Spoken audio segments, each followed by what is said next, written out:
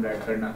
Film का content अच्छा था स्टोरी अच्छी थी मैं सोचा कि ये फ़िल्म अगर मैं करता हूँ तो एक मैसेज होगा और लोग सीखने कुछ ना कुछ मिलेगा फ़िल्म बहुत अच्छी आ- आपने भी कॉलेज आप भी कॉलेज गए होंगे आपने भी हम्म, कुछ हाँ कुछ मिस्टेक्स किए होंगे अपने कॉलेज लाइफ में। तो वो रियल लाइफ को रियल लाइफ में कैसे आपने डाला?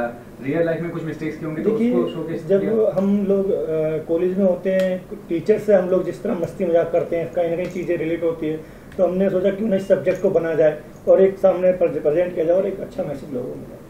और नए लोग. नए लोग को कास्ट किया इस फ़िल्म में तो ये यही बहुत बड़ा चैलेंज है क्योंकि नए लोग को एक्सेप्ट करना इतना आसान नहीं होता है दर्शकों को। तो ये बताइए तो कैसे कास्ट किया देखिए नए लोग को क्या होता है इसमें हमारे जो हमारे जो प्रोड्यूसर हैं सारिका जी उन्होंने बोला क्यों ना हम एक अच्छे एक्टर्स लें क्यों कुछ ना कुछ क्या होगा? अगर हम नए एक्टर्स लेंगे एक इवन इनको नया भी नहीं कह सकते सबने कुछ ना कुछ काम किया है किसी ने थोड़ा किसी ने ज़्यादा। लेकिन इनसे क्या होगा कुछ ना कुछ एक नयापन मिलेगा लोग देखने को और, और एक अच्छा सिनेमा हम लोग देख पाएँगे।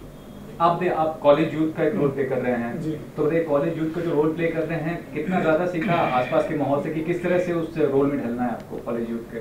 देखिए कॉलेज तो लाइफ में सभी लोग जाते ही हैं देखा ही हुआ होता है तो ऐसा तो है नहीं कि इसके लिए अलग से कुछ मेहनत करनी पड़े या अलग से कोई वर्कशॉप लेनी पड़े। सिंपल है कॉलेज में आप जैसे रहते हैं बहुत मस्ती होती है दोस्तों के साथ स्टूडेंट्स के साथ भी टीचर्स के साथ भी कुछ हँसी मज़ाक होती है। तो वो सब तो देखा ही हुआ है तो काफ़ी काम आया फ़िल्म में। तो अलग से तो उसके लिए कुछ नहीं किया और रोल ऐसा था कि सपोर्ट मिला। अच्छा जनरली भी जो यूथ है काफ़ी ज़्यादा आज के दौर में देखा जाए तो रिस्पॉन्सिबिलिटी जो होती है वो नहीं समझ पाते। तो आपको क्या लगता है कि कितना ज़्यादा रिस्पॉन्सिबल होना चाहिए सोसाइटी के लिए फैमिली के लिए या कंट्री के लिए? क्योंकि उन, उनके लिए फन लविंग नेचर ही सब कुछ होता है। आप क्या कहना चाहेंगे इस बारे में? फन लविंग जहाँ तक है ठीक है लेकिन रिस्पॉन्सिबिलिटी तो हर इंसान की एज ए ह्यूमन होनी ही चाहिए कंट्री के लिए और सोसाइटी के लिए भी।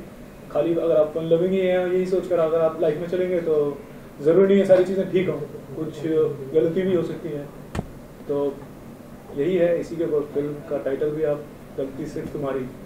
प्रोड्यूसर मैं आपसे पूछना चाहूँगा जीएसटी को जब रिलीज़ करते हैं क्योंकि फ़िल्म बनाना तो ठीक है आसान होता है लेकिन रिलीज़ करना बहुत मुश्किल होता है। तो कितना मुश्किल था किन लोगों ने सपोर्ट किया और आप बताइए आपका कैसा अनुभव था रिलीज़ करने के लिए? सेंसर बोर्ड में बहुत नेचुरली सेंसर बोर्ड ने जो है बहुत सारे ऑब्जेक्शंस और बहुत सारी क्योरीज खड़ी की थी विच वी फाइट और हमने बात किया और हम लोगों ने उस चीज़ को जो है अ, हालाँकि ऐसा कुछ मुझे लगा नहीं कि जिसके ऊपर इतना सारे ऑब्जेक्शन या इतना कुछ होना चाहिए था बट Uh, फिर भी वो उनकी ड्यूटी थी और हमने अपना उस चीज़ को फाइट किया और हम लोग इस चीज़ को वहाँ से क्लियर अप करके लेकर आए।